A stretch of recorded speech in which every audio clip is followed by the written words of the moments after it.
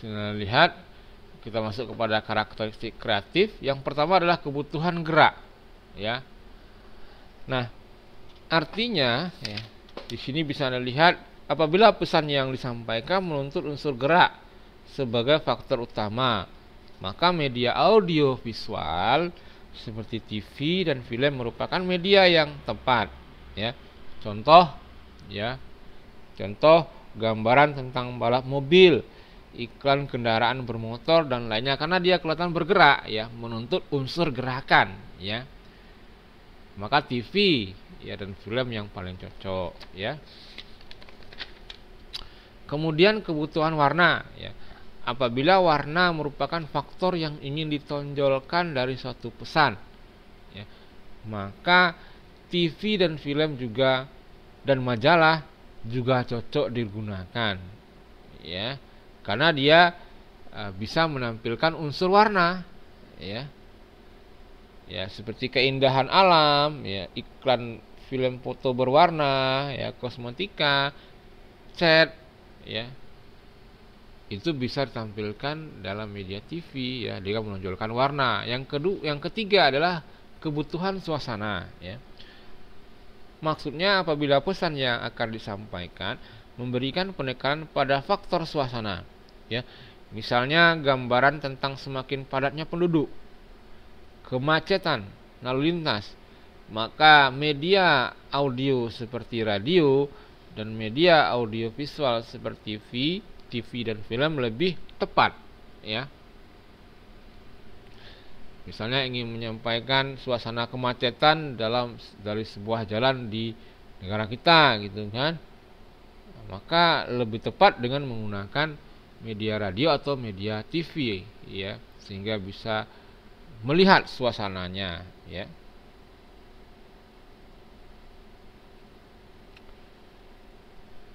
Kemudian yang keempat kebutuhan demonstrasi ya. Artinya apabila pesan yang disampaikan menuntut adanya demonstrasi yang menggambarkan tata cara proses atau hasil maka media audiovisual seperti TV dan film lebih tepat ya. Contoh ya.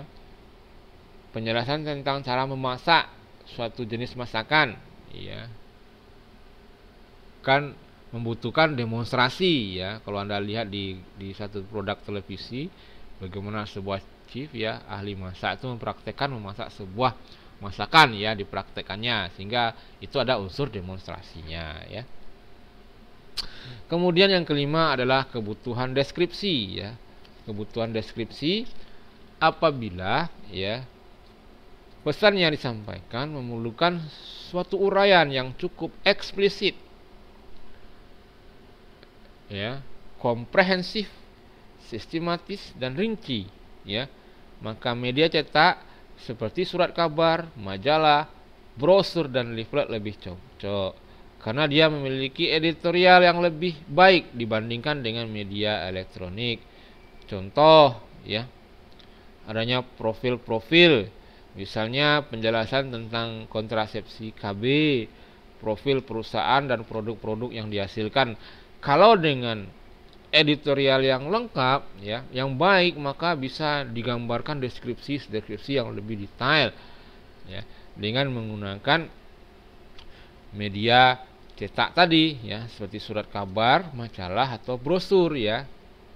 Ya, akan lebih uh, detail ya karena dia membutuhkan deskripsi ya kalau kita menggunakan radio tidak detail ya hanya omong-omong aja mungkin hanya sepintas atau sedikit yang bisa kita ceritakan ya tapi dengan uh, surat kabar mungkin di, di, diberi penjelasan yang lengkap di deskripsi yang kan yang lengkap pada Uh, brosur-brosur kan Anda bisa lihat atau leaflet-leaflet ini lebih cocok untuk yang memerlukan uh, kebutuhan deskripsi ya. Kemudian selanjutnya kita masuk kepada hal kegiatan belajar keempat ya. Atau bagian terakhir daripada modul 9 ya, kegiatan belajar 4 adalah karakteristik halayak. Sebelumnya kita harus mengerti uh, terlebih dahulu ya.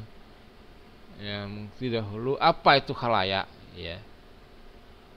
Ya. Di sini ya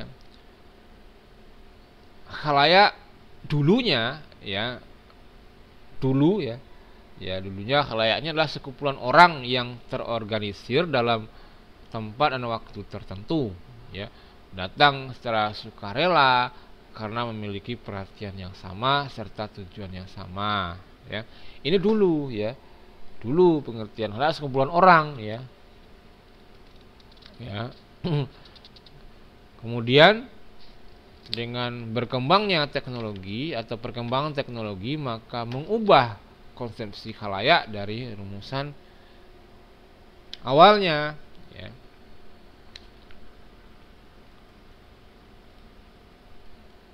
Ya.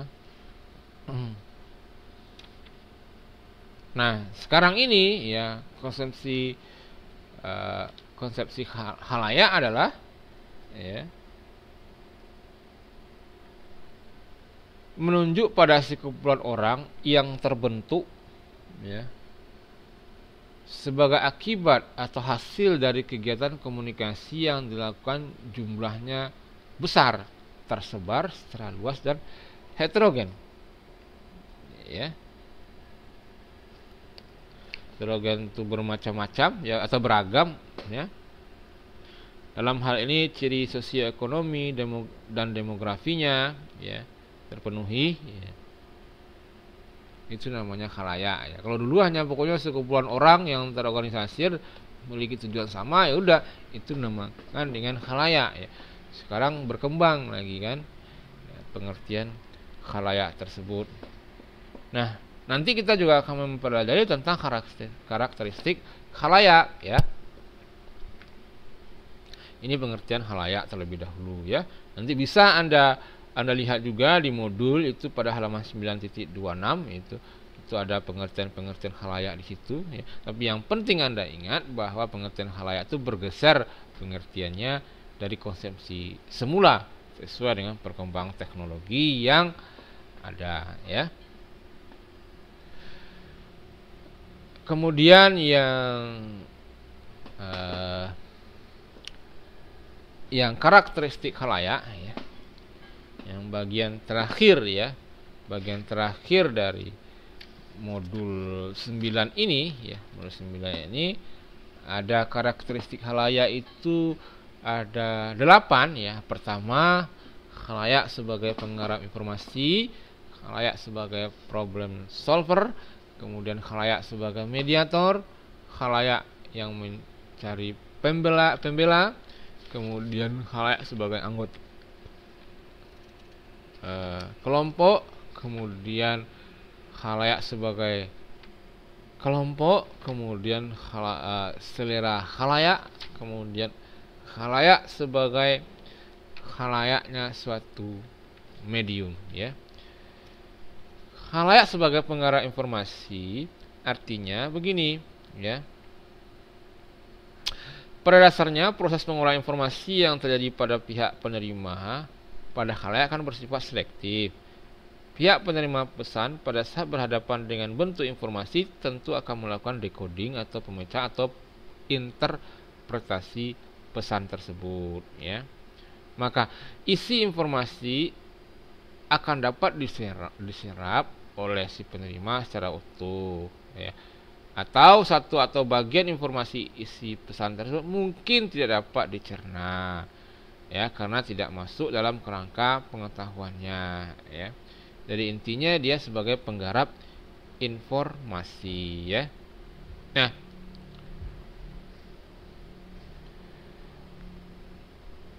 uh, derajat ya derajat pengolahan informasi ini ya derajat pengolahan informasi yang didapatkannya ini juga tergantung dalam juga ada hubungannya dengan faktor pendidikan ya, ya kalau orang yang memiliki pendidikannya tinggi maka dia memiliki keingintahuan yang tinggi ya, rasa keingintahuan yang tinggi dan cenderung lebih kritis selektif dan banyak pertimbangan dibandingkan dengan latar belakang yang berpendidikan rendah. Kemudian khalayak yang sebagai problem solver dia jadi bisa menyelesaikan sebuah masalah ya. Mereka juga berupaya untuk mencari cara-cara penyelesaian dari masalah tersebut ya kemudian khalayak sebagai mediator. Jadi pesan tersebut disampaikan kepada uh, seseorang atau khalayak tidak hanya berhenti di situ ya. Bisa disampaikan kepada yang lainnya ya. Maksudnya maksudnya seperti ini.